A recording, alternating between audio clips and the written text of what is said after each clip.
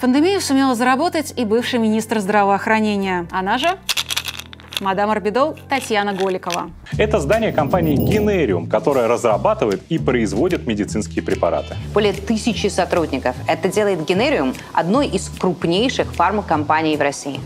Особенно удачные времена для компании настали в 2020 году. Ее чистая прибыль подскочила с 10 до 65 миллиардов рублей. Это немногим меньше, чем бюджет всей Владимирской области. Секрет такого фантастического успеха прост. В России шла массовая вакцинация от коронавируса, а Генериум стал крупнейшим производителем вакцины «Спутник Ви». Они разработали назальную вакцину и продавали тесты. И, как мы выяснили, у пасынка Голиковой есть опцион на 8 с лишним процентов этой фирмы. Это значит, что он может в любой момент переоформить эту долю на себя, ну или продать почти за 5 миллиардов рублей.